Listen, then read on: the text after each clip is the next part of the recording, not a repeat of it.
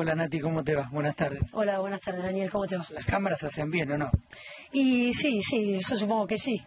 Bueno, contame, ¿cómo están las chicas este, en un partido amistoso contra Lanús? ¿Qué es lo que se busca? Eh, mira, estamos, la verdad que las chicas es un grupo que estuvo trabajando y buscando lo que se logró, que es, bueno, la final del playoff.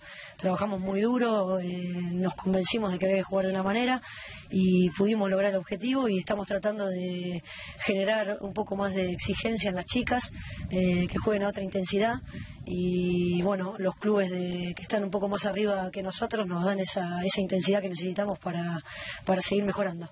Jugar con rivales de fuste ayuda al crecimiento, ¿no? Por supuesto, la competencia te da exigencia y te hace eh, siempre ir por más. Eh, partido con Lanús, ¿qué es lo que se viene a partir de esto? Y después, bueno, a partir de esto, el 4 tenemos la segunda rueda.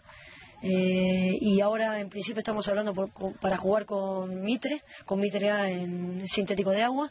Eh, y la idea es, bueno, de, cara a diciembre, los playoffs, eh, poder jugar partidos amistosos con, con equipos más competitivos que nosotros, para seguir sumando experiencia y nivel. Aparte de Eliana y Magali, ¿qué tenemos aquí en la cantera como promesas?